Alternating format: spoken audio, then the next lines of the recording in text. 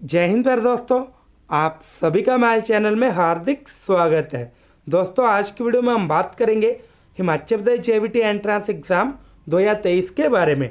सबसे पहले दोस्तों, मैं आपको बता दूँ, गले की थोड़ी बैंड बजी हुई है तो ऐसे में जो थोड़ी आवाज़ है वो डाउन रह सकती है तो आपने इस चीज़ को बिल्कुल इग्नोर करना है। और दोस्तों, मुझे उम्मीद है आप सभी ने जो अपनी काउंसलिंग लिस्ट लिस्ट है वो देख ली होगी। उसमें अपना रोल नंबर भी चेक किया होगा और आप सभी को अपनी जो काउंसलिंग की डेट है वो भी पता लग गई होगी। इसके अलावा दोस्तों, आप सभी ने बायोडाटा फॉर्म भी डाउनलोड कर लिया होगा। अब दोस्तों नेक्स्ट क्वेश्चन क्या आता है? जो जो बायोडाटा फॉर्म है, उसको किस तरह से फिल किया जाए?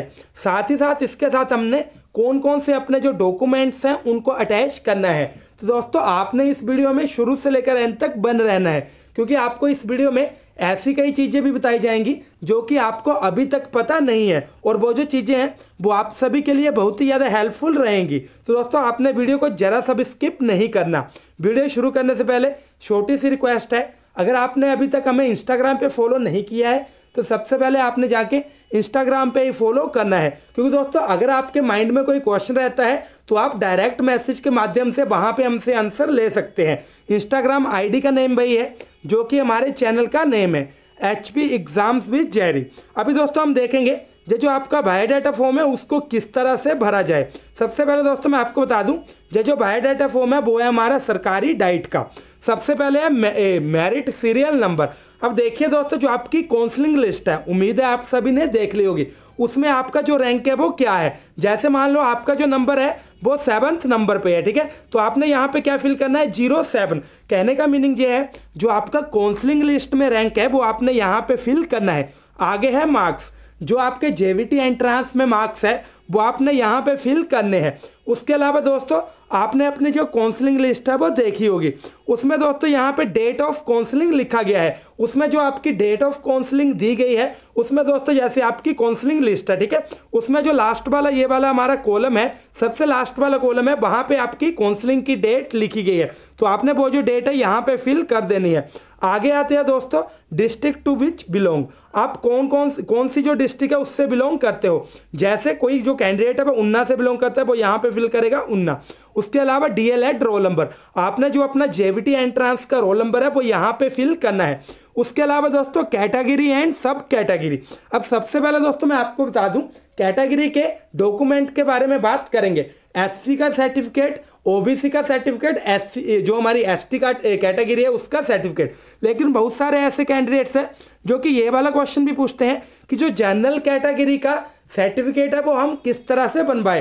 तो दोस्तों, मैं आपको क्लियर कर दूँ जनरल का क्या मीनिंग होता है? सामान्य, जो कि सामान्य है, ठीक है दोस्तों? तो जो जनरल कैटेगरी है, उसका कोई भी कास्ट सर्टिफिकेट नहीं बनता। इसके अलावा अगर आपका ईडबल जो एस में नेम है तो आपको सर्टिफिकेट बनवाना पड़ेगा। साथ ही साथ दोस्तों, आपको ये चीज़ पता लग गई होगी, आपने इस चीज़ में कंफ्यूज नहीं होना है कि हम जनरल कैटेगरी से बिलोंग करते हैं और हमने कौन सा कास्ट सर्टिफिकेट लेके जाना है, जहाँ हमारा कास्ट सर्टिफिकेट कैसे बनेगा। तो यहाँ पे चीज़ें क्लियर है आपका जो कास्ट सर्टिफिकेट है वो नहीं लगेगा, क्योंकि आप जनरल कैटेगरी से बिलोंग करते हो। मान लो कोई ऐसा कैंडिडेट है जो कि एस से बिलोंग करता है तो वो वो कैसे यहाँ पे फिल करेगा? लिखेगा एससी और वो ब्रैकेट में लिख देगा बीपीएल ठीक है? यहाँ पे क्या हो गया?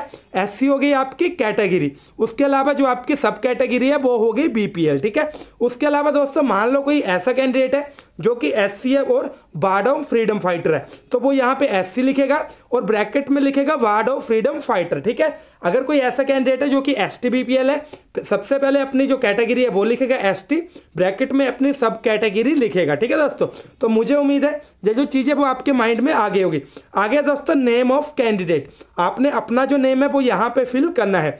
आगे है फादर्स नेम अपने पिताजी का नेम यहाँ पे फिल करना है। आपने जो हमारा सिक्स नंबर वाला कॉलम है, वहाँ पे जो अपना एड्रेस है, उसको फिल करना है। आगे पिन कोड अपना जो टेलीफोन या मोबाइल नंबर है, यहाँ पे फिल करना है।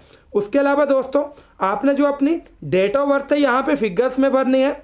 यहाँ पे देखिए दोस्तों, आपने फिगर्स में भरनी जैसे किसी की होगी बीस सात दो हज़ार पाँच, ठीक है? बीस सात दो हज़ार पाँच इस तरह फिल करेगा। और यहाँ पे वर्ड्स में आपने जो अपनी डेट ऑफ़ बर्थ है वो फिल करनी है।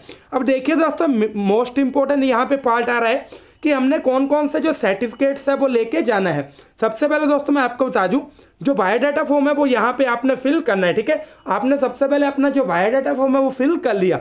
तो उसके बाद दोस्तों आपने सबसे ऊपर बायोडाटा फॉर्म रखना है। उसके बाद आपने जो नीचे है वो कौन कौन से डॉक्यूमेंट्स लगाने हैं, जो यहाँ पे सीरियल दिए गए हैं। जैसे सबसे पहले दोस्तों आगे आपका मैट्रिक का सर्टिफिकेट आपने क्या करना जो मैट्रिक का सर्टिफिकेट है ओरिजिनल भी रखना है। और और उसको दोस्तों आपने सेल्फ अटेस्टेड करके भी यहाँ पे अटैच करना है।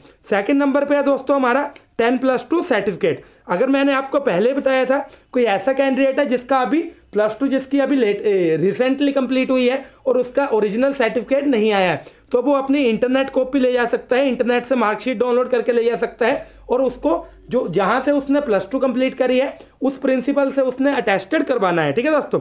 आगे हमारा थर्ड नंबर पे क्या लगेगा? हिमाचल बोनाफाइड सर्टिफिकेट ठीक है? फोर्थ नंबर पे क्या अटैच होगा? मेन कैटेगरी सर्टिफिकेट जो आपकी कैटेगरी का सर्टिफिकेट है। और आपका सबसे लास्ट में कौन सा जो सर्टिफिकेट है, वो अटैच होगा? तो मैं आपको बता दूँ सब कैटेगरी जो सर्टिफिकेट है, वो यहाँ पे अटैच होगा। साथ ही साथ दोस्तों, मैं आपको कुछ एक और चीज़ें भी बताना चाहूँगा। आपने एक दो अपनी जो पासपोर्ट साइज़ फ़ोटो है, वो भी लेके चलना है, ठीक है? कई बार जो ज़रूरत है, वो वहाँ पे पड़ जाती है। साथ ही साथ दोस्तों, आपने जो अपना आधार कार्ड है, उसकी भी फ़ोटो कॉपी लेके जानी है, ठीक है? आधार कार्ड की फ़ोटो कॉपी भी लेके जानी है। अगर आपके पास ग्रेजुएशन का सर्टिफिकेट है तो आपने उसको भी अपने साथ ही लेके जाना है, ठीक है? उम्मीद है ये जो चीज़ें, वो आपको क्लियर हो गई होंगी। आगे दोस्तों, आगे एजुकेशनल क्वालिफिकेशन का यहाँ पे कॉलम बना हुआ है। आपने प्लस टू का फिल करना है। सबसे पहले आपके जो मार्क्स है वो कितने थे? मान लो कोई ऐसा कैंडिडेट है जिसके 700 में से 325 नंबर थे, ठीक है? तो वो क्या फिल करे? 500 में से 325 नंबर से यहाँ पे टोटल मार्क्स में क्या फिल होने हैं? 500 और यहाँ पे मार्क्स ऑप्टेन में होने हैं 325 उसके बाद दोस्तों, आपने जो अपनी परसेंटेज है वो यहाँ पे फिल कर देनी है। अब देखिए दोस्तों, अभी आता है सबसे इंपॉर्टेंट पार्ट जिसमें कि मैक्सिमम जो कैंडिडेट्स है वो कंफ्यूज होते हैं। ये जो डाइट है, उसको हमने बायोडाटा फॉर्म में ऑर्डर में किस तरह से फिल करना है। तो दोस्तों, आपने यहाँ से जो चीज़ें हैं, वो अच्छे से समझनी है, ठीक है दोस्तों? आपने यहाँ पे जो वीडियो है, उसको अच्छे से समझना है। तो दोस्तों, यहाँ पे हमें सीरियल नंबर दिया गया है, जहाँ पे दिया गया है नेम ऑफ़ डाइट हिमाचल की ट्वेल्व डिस्ट्रिक्ट्स है और हर एक डिस्ट्रिक्ट में एक डाइट है, ठीक है? सरकारी डाइट है। उसके अलावा दोस्तों, यहाँ पे जो हमने ऑर्डर है, वो अपनी प्रेफरेंस के अकॉर्डिंग भरना है। अब देखिए दोस्तों, ये जो ऑर्डर है, उसको किस तरह से फिल करें? मैं आपको बताऊँगा, मान लो, जहाँ पे लिखा है, बिलासपुर की डाइट है, चंबा की डाइट है, हमीरपुर की डाइट है गोना गरोर वाली कांगड़ा की है, उसके अलावा किन्नौर की है, कुल्लू की है, लाहौल स्पीति की है, ठीक है दोस्तों? तो देखिए, यहाँ पे जो आपका बायोडाटा फॉर्म में आपकी डाइट भरने के तरीके है, वो दो तीन है। सबसे पहले दोस्तों, मैं आपको बता दूँ, मान लो आपको जो पहली डाइट है, वो मंडी चाहिए। आप मंडी डिस्ट्रिक्ट से बिलोंग करते हो। आप क्या चाहते हो कि जो मैंने पहली प्रेफरेंस है, वो मंडी डिस्ट्रिक्ट को देनी है। तो आपने क्या करना, यहाँ पे एट नंबर लिखा लिखा हुआ है। तो आपने यहाँ पे एट नंबर फिल कर देना। फ़र्स्ट जो कॉलम है उसमें एट नंबर फिल कर देना है, ठीक है दोस्तों? जो आप ऐसा भी कर सकते हो, जो आपकी जो मंडी लिखा हुआ है, यहाँ पे एट नंबर पे तो आप वहाँ पे दोस्तों वन भी लिख सकते हो। क्या पता लग रहा है, ये जो हमारी मंडी डिस्ट्रिक्ट है, इसको हमने फ़र्स्ट प्रेफरेंस दी है, लेकिन मेरी आपको क्या सजेशन है? आपने किस तरह से करना है? देखिए दोस्तों, मैं ये चीज़ कह रहा हूँ कि आपने ये जो बायोडाटा फॉर्म है, उसमें किस तरह से फिल करना है? आप जिस मर्ज़ी तरीके से भरिए आपका जो बायोडाटा फॉर्म है, वो एक्सेप्ट किया जाएगा, ठीक है दोस्तों? लेकिन मेरे अकॉर्डिंग ये चीज़ ज़रूरी है कि जैसे आपका ये जो मंडी है एट्थ नंबर वाला है तो आपने क्या करना है? आपने यहाँ पे सीरियल नंबर वन डालना है और इधर लिख देना है मंडी, ठीक है दोस्तों? आपने यहाँ पे लिख दिया मंडी। इसी तरह से आप, आपकी जो सेकंड प्रेफरेंस है, मान लो वो सोलन है। आपने यहाँ पे लिखना टू जो सेकंड यहाँ पे कॉलम है, उसमें लिखना टू और यहाँ पे क्या कर देना आपने दोस्तों? सोलन। इसी तरह से थर्ड है, आपने जो थर्ड है, उसमें इसी तरह से नेम लिख लेना है। यहाँ पे जो हमारी डाइट्स के नेम है, वो छोटे छोटे हैं। तो उसमें हम इस तरह से अच्छे से लिख सकते हैं। मैं दोबारा से बता रहा हूँ। मान लो कोई ऐसा कैंडिडेट है जो कि मंडी डिस्ट्रिक्ट से बिलोंग करता है और वो चाहता है कि मेरी जो पहली डाइट है वो मंडी डिस्ट्रिक्ट से में ही मिले, ठीक है दोस्तों? वो उसको जो बायोडाटा फॉर्म है, किस तरह से फिल करना है? तो यहाँ पे एट नंबर है हमारा मंडी। वो इस तरह से भी कर सकता है, जहाँ पे जो प्रेफरेंस ऑर्डर है, वहाँ पे एट लिख सकता है। जो पहले वाला ऑर्डर है, वहाँ पे एट लिख सकता है। और वो इस तरह से भी फिल कर सकता है। यहाँ पे उसने सीरियल नंबर वन डाला है और उसने क्या लिखना है? M A N D I ठीक है?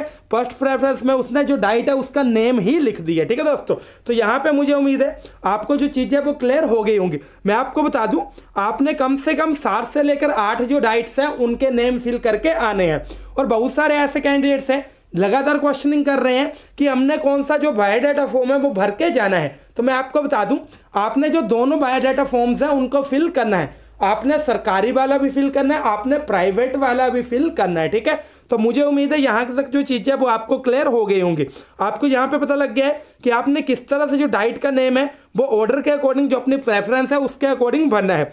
उसके बाद दोस्तों, आपने यहाँ पे डेट फिल कर देनी है, जब आपकी काउंसलिंग है, उसके बाद दोस्तों आपने जो अपने सिग्नेचर है, यहाँ पे कर देने हैं, ठीक है? अभी हम आते हैं दोस्तों प्राइवेट कौन जो हमारा प्राइवेट वाला बायोडाटा फॉर्म है, उसकी तरफ़।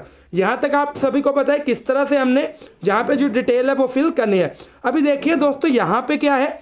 जहाँ पे जो हमारी डाइट्स है, उनके जो नेम्स है, वो बड़े बड़े दिए गए हैं। तो यहाँ पे आप सेम वाला जो प्रोसीजर है, वो लिख सकते हो। मान लो यहाँ पे आपका ये जो बॉक्स है, इसमें आपकी डाइट का जो प्राइवेट डाइट है, उसका नेम पूरा नहीं आ रहा। तो आपने क्या करना है, ये जो आपके प्रेफरेंस ऑर्डर है, उसमें किस तरह से करना है?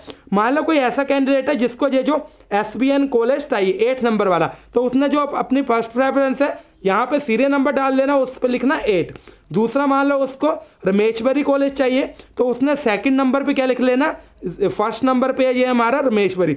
तीसरा उसको चाहिए डी डी एम साई। तो उसने थर्ड नंबर पे क्या लिख देना?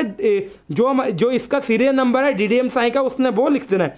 मान लो उसको फोर्थ नंबर पे कौन सा कॉलेज चाहिए? शांति कॉलेज ऑफ़ एजुकेशन जे हमारे घर के नज़दीक कॉलेज है तो वो क्या करेगा दोस्तों? अगर उसको शांति वाला कॉलेज चाहिए तो वो जो अगली प्रेफरेंस है, मान लो फोर्थ नंबर वाली प्रेफरेंस है, उसमें क्या लिखेगा? नंबर फोर्टीन तो इसी तरह से आपने फिल करना है, ठीक है दोस्तों? अभी अभी मैंने आपको कुछ एक और चीज़ें बताई हैं। मैं आपको ऐसी चीज़ें बताऊँगा जो कि आपको अभी तक पता नहीं है। अब देखिए दोस्तों, मान लो, जब आपने अपना जो एप्लीकेशन फॉर्म है, उसको फिल किया था तो कोई ऐसा जो डॉक्यूमेंट है, मान लो, अगर आपका बीपीएल में भी नेम है, और आपने उस समय जो बीपीएल का कॉलम है, उसको फिल नहीं किया है तो आपने दोस्तों क्या करना है? जो अपना बीपीएल का सर्टिफिकेट्स है बीपीएल का जो भी सर्टिफिकेट है, उसको लेके जाना है, और वहाँ पे जो ऑफिशियल है उसको दोस्तों मैं आपको बता दूँ एक्सेप्ट कर सकते हैं, ठीक है? मैं ये नहीं कह रहा कि हंड्रेड परसेंट करेंगे, लेकिन एट्टी परसेंट चांसेस है, उनके जो ऑफिसर्स हैं, वो उसको अटेस्टेड कर देंगे और उसको एक्सेप्ट कर लेंगे। तो आपको जो कोटे का फ़ायदा है, वो मिल जाएगा। तो दोस्तों, अगर आपसे ऐसी कोई गलती हुई है कि आपने एप्लीकेशन फॉर्म भरते टाइम जो अपनी सब कैटेगरी है, वो नहीं भरी तो आपने काउंसलिंग के दौरान जो अपना सब कैटेगरी का सर्टिफिकेट है वो हंड्रेड परसेंट लेके जाना है। उसके अलावा दोस्तों मैं आपको बता दूँ, अगर आपको प्राइवेट डाइट मिलती है, यहाँ पे सारी जो, यहाँ पे हमारी डाइट्स है, जो प्राइवेट डाइट्स है, उनके नेम लिखे हुए हैं। मैं आपको बता दूँ, आपने मिनिमम जो फिफ्टीन डाइट्स हैं या फिफ्टीन कॉलेजेस है, जो प्राइवेट फिफ्टीन कॉलेजेस है, उनके नेम यहाँ पे लिख के आने हैं। उनको दोस्तों आपने अपनी प्रेफरेंस के अकॉर्डिंग रखना है, ठीक है दोस्तों? अभी देखिएगा दोस्तों, यहाँ पे क्या चीज़ है? जो आपकी फ़ीस है, ठीक है? यहाँ पे अगर आपको सब्सिडाइज सीट मिलती है तो आपके सोलह हज़ार पाँच सौ लगने हैं। अगर आपको नॉन सब्सिडाइज मिलते हैं सत्ताईस हज़ार पाँच सौ लगने हैं। यहाँ पे मैं ओनली ट्यूशन फ़ीस की बात कर रहा हूँ, ठीक है दोस्तों? उसके अलावा दोस्तों, आपको जो एडवांस ट्यूशन फ़ीस है काउंसलिंग के दौरान काउंसलिंग में कौन कौन सी जो फ़ीस है आपको नहीं जमा करवानी है? सब्सिडाइज के लिए भी बयासी सौ पचास है नॉन सब्सिडाइज के लिए भी बयासी सौ पचास है। तो दोस्तों, यहाँ पे साफ़ तौर पे लिखा गया है अगर आपकी जो प्राइवेट सीट है वो मिलती है तो आपको जो एडवांस पैसा है वो जमा करवाना पड़ेगा। अगर आपके पास पैसे नहीं है तो आप कॉलेज में वहाँ पे बात करके या काउंसलिंग वालों से बात करके जो जो चीज़ें वो बता सकते हैं। ऐसा नहीं है कि वहाँ पे बहुत ही ज़्यादा स्टिकनेस होगी, ठीक है दोस्तों? अगर आप ये चीज़ मान के चले हो कि वो आपको खाने पड़, पड़ेंगे तो दोस्तों ऐसा बिल्कुल भी नहीं है। जो जो आपके एच पी की काउंसलिंग रहती है, उनको भी पता है पता है कि जो जो बच्चे वो आफ्टर प्लस टू आ रहे हैं। और आफ्टर जो प्लस टू है कैंडिडेट्स को इतनी चीज़ें पता नहीं होती हैं। तो अगर आपसे कोई छोटी मोटी मिस्टेक हो जाती है तो आपने पैनिक नहीं होना है। आपने क्या करना है? उनके साथ डिस्कस करना है और वो आपको परमानेंट जो सोल्यूशन और इंस्टेंट जो सोल्यूशन है, वो बता देंगे। उसके अलावा दोस्तों, अगर आपके माइंड में अभी भी कोई डाउट है तो आपने कमेंट बॉक्स में लिखना है, जहाँ हमें आप इंस्टाग्राम पे डायरेक्ट मैसेज भी कर सकते हो। तो दोस्तों, मिलते हैं किसी अगली वीडियो में। जय हिंद, जय भारत, जय हिमाचल।